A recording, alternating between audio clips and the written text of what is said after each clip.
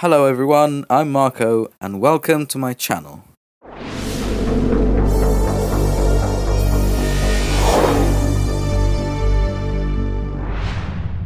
Last week I reached 5,000 subscribers which is crazy considering that I make these videos in my spare time which is, to be honest, quite little. I have a full-time job and I work from Mondays to Fridays, so it gives me just enough time to make videos on the weekends. I've had a lot of feedback from you guys. Thank you so much for your kind words and support. It really means a lot. I do my best to read all of the comments that you write, and I've noticed that quite a few of you have asked me to include more footage of the processes of the making of my figures. So today I want to do something different, something special to thank each and every one of you. I've decided to make a 10 minute video showing you all the processes and materials I use during the making of my figures. So you can consider this as a how-to video or a tutorial. So sit back and relax and enjoy my video.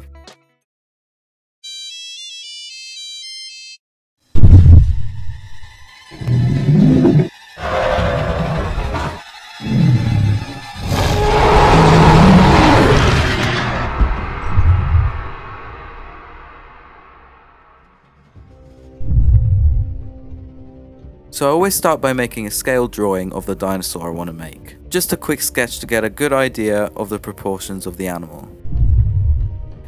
Many artists use Super Sculpey, Monster Clay, but I find those to be a bit too expensive for these kind of figures. So I find the cheapest way is to make some sort of internal skeleton and then use epoxy putty to sculpt.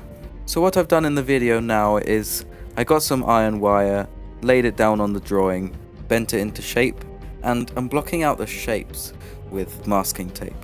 So I've never really met anyone that uses this kind of technique, but I sort of use it like clay. I get a bit of tape, roll it up, and then just pop it down wherever it needs more volume. So you've got to kind of think of it as two halves. At the moment I'm doing the left side, so you don't want to make it too fat, because then you're going to have to flip it over and basically replicate what you've done on the left side back onto the right. Here I'm rolling up some tape. I'm sort of making a little noodle of tape. Uh, so the sticky part remains outside, so you can just shape it however you want, cut it down on the drawing, and then just build shapes around it. I do the legs and arms separately, as well as the head. You basically need to repeat what you did for the body, really. Just build up the shapes with the tape, and make sure you have a lot of reference pictures. Can't see it in the video, but I've got a bunch of pictures from uh, Jurassic Park 3, the film, and Jurassic World Evolution, which looks great, to be honest. I haven't played it yet, but uh, who knows, maybe sometime in the future. I rolled a little bit more tape for the head. I just did a little V shape and uh, filled it up a little bit with some more tape. So it kind of looks like a cone. You want to do the same thing for the bottom jaw, but a bit thinner. Make sure not to make it too fat, because remember you're going to be covering it with epoxy putty, so allow at least um, a mil or two, maybe, in thickness. So now comes the fun part. Milliput epoxy putty is what I use, but you can get epoxy sculpt, I guess, which is exactly the same. Uh, it works in the same way. It's a two-part epoxy putty. You just get the two parts, mix them together, and you've got about an hour to sculpt before it starts getting rubbery and then eventually rock hard.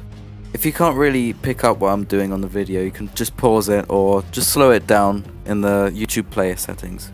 The main tool I'm using is basically a paintbrush, but I modified it by sharpening the end pencil sharpener.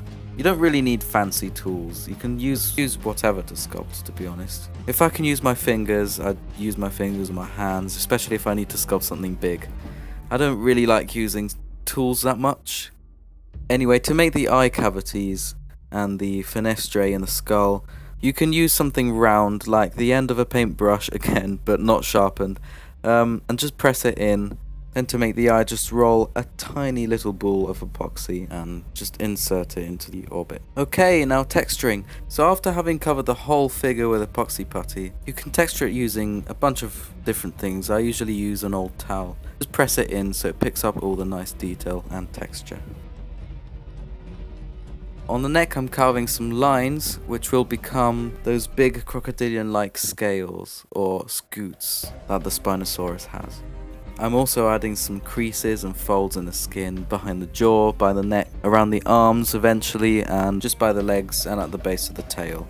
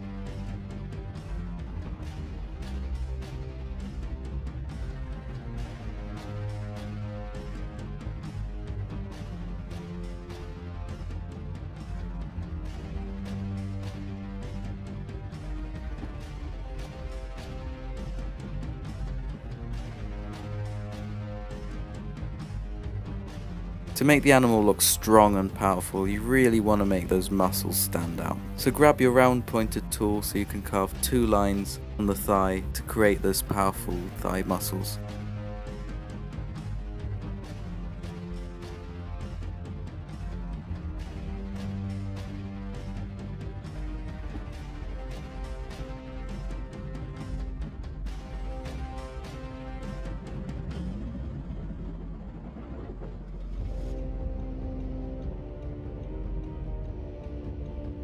Here I'm making the calf muscle stand out. You want to get a blob of epoxy putty and just put it on the calf and then just add a couple of lines in there as well. Here I'm sculpting the bird-like scutes on the feet. I'm doing that by just pressing the point of my tool repeatedly all along the length of the toes and the foot. Just adding some extra texture there by sculpting some lines in to replicate skin.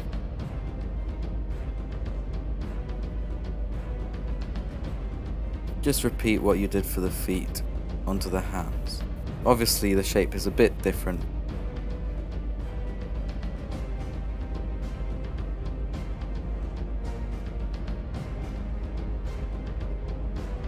I must say that the trickiest part of the sculpt is the teeth. They can become really really fiddly. I roll the epoxy putty into a point and then just press it down between the edge of the lip and the gums.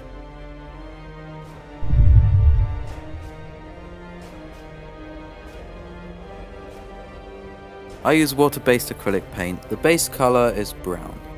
Then I add layers of dry brushing. These layers are red, white, yellow and grey, and then a light blue on the sail.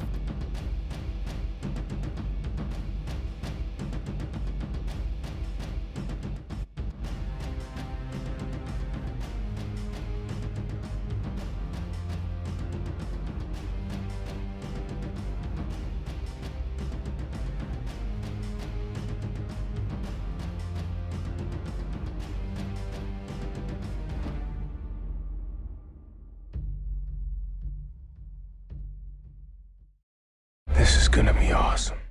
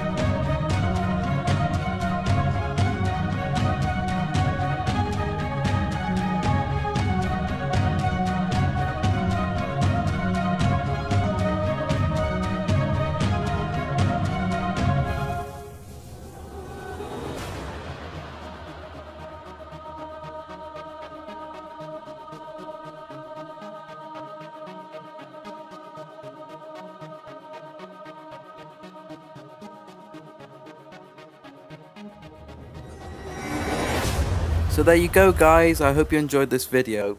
Thanks so much again for your support. And if you like this video, rate and subscribe if you want to, and see you in the next one. By the way guys, make sure you check out Jurassic World Exodus. It's a Jurassic fan film shot in Hawaii, which is the location of the original Jurassic Park film and Jurassic World.